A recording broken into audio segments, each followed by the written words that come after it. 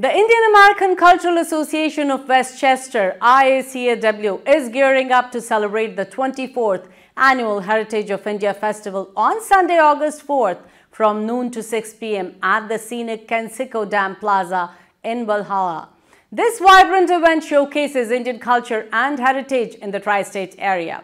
We had the privilege of speaking with three influential leaders of IACAW who have played pivotal roles in fostering cultural appreciation and community engagement. While the full interview will be aired soon, let's enjoy some excerpts from their inspiring conversation.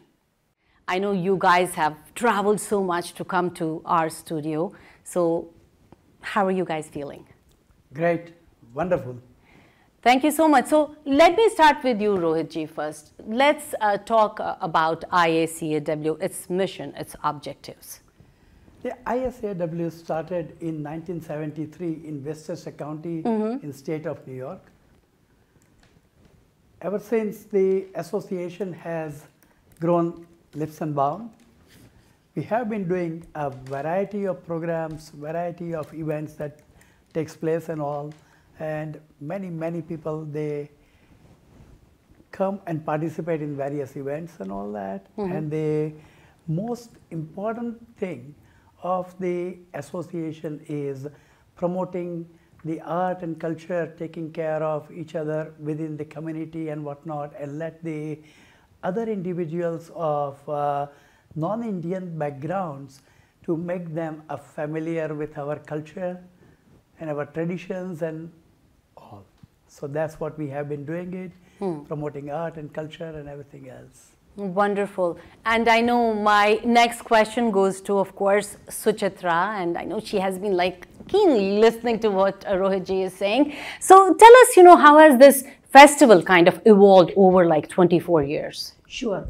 so as Rohit Bhai described our mission, our vision is always to be an outstanding pillar of support hmm. for all communities, right? Hmm. Indian communities, non Indian communities within our area. And we have slowly, by leaps and bounds, expanded our reach into the tri state area. By the way, that includes New Jersey, Connecticut, rest of the New York state.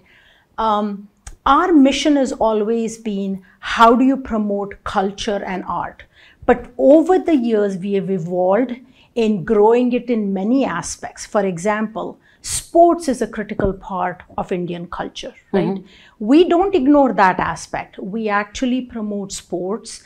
Um, we have sponsored many sports uh, uh, com- competitions like Carom, for example. We have cricket demonstrations so that it actually spreads as part of the core Indian values, hmm. right? And then there are, we have now grown our youth organizations.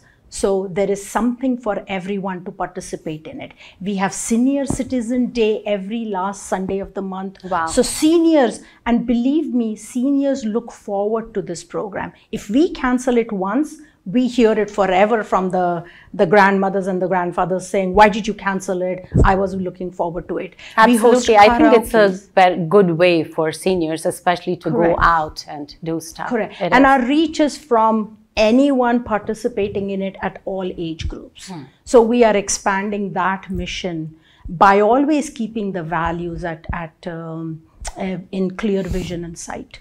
Wonderful. So I want to go back to Rohit ji and yes. just let's talk about this year's, the 24th Annual Heritage of India Festival. Let's talk about the highlights and attractions. It has been 23 years that we have been doing this, not counting the uh, COVID era time and all that, and hmm. this is the 24th one. Hmm. As we look at the society at large, what we have here is most four components of our current era and uh, that is science, technology, engineering and the medicine. Hmm. So our theme and the most highlight of the a program based on the STEM and uh, many youths they are going to come and uh, talk about that there will be some articles and all that some literature that we will have it on display under our activity tents and whatnot. And uh, uh, our youth group members, they are going to come and speak about their experience and what they have written in our brochure that is going to come out on the day of uh, the Heritage Festival, which is the August 4th.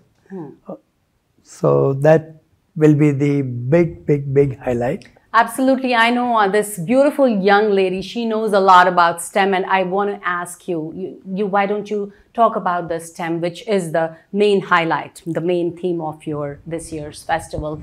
Talk about it and I also want to know why STEM.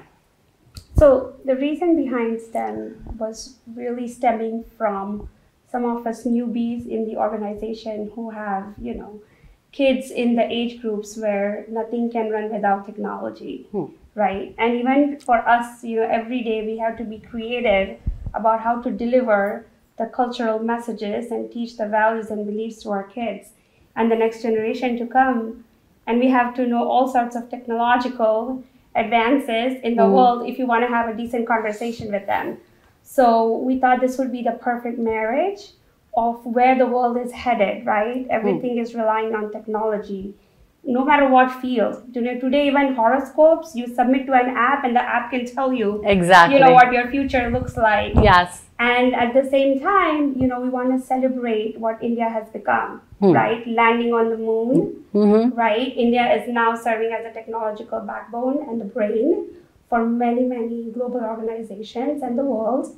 And while we, you know, we definitely play the peacemaker, we, I think, are strongly rooted in our culture and values. And, you know, all of us really strongly feel that the root and the foundation of that culture is what allows us to reach those heights in all these fields that we are now seeing a lot of emergence of of what India has contributed and Indian Americans have mm-hmm. contributed in, in these fields. So that's one aspect, is the Right. philosophy behind the theme, but also we are making it very innovative. This year we're going to have um, technological interactive uh, arts and crafts for the kids. Our youth committee, which is upcoming since last year, they have actually come around and volunteered to talk about some of those Indian American contributors who have made major contributions in this field.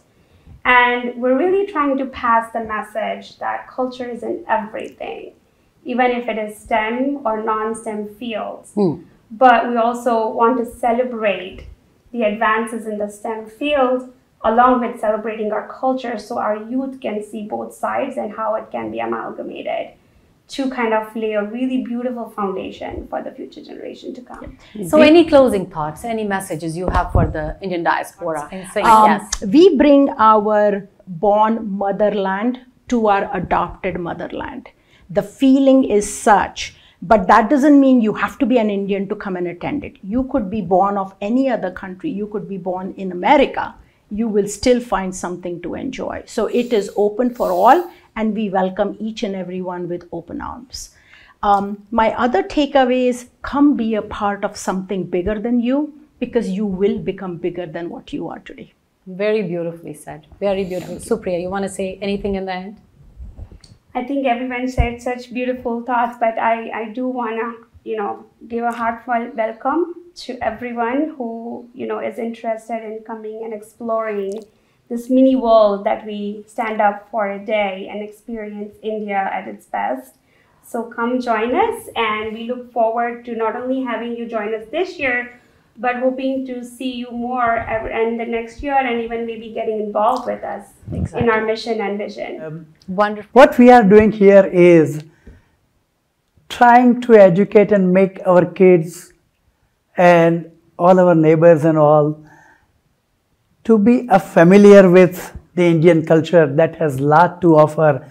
The uh, if you look at the India and Indian uh, culture and all that, that is more than five thousand year old, right?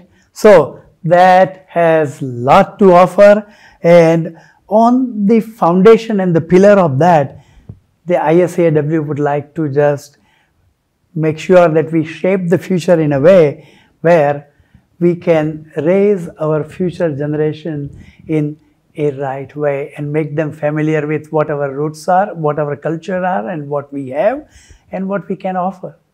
Wonderful. And that's beautifully said. And I would like to wish all the best to all three of you, and I'm sure it's going to be a great, great event. And thank you so much. Thank you.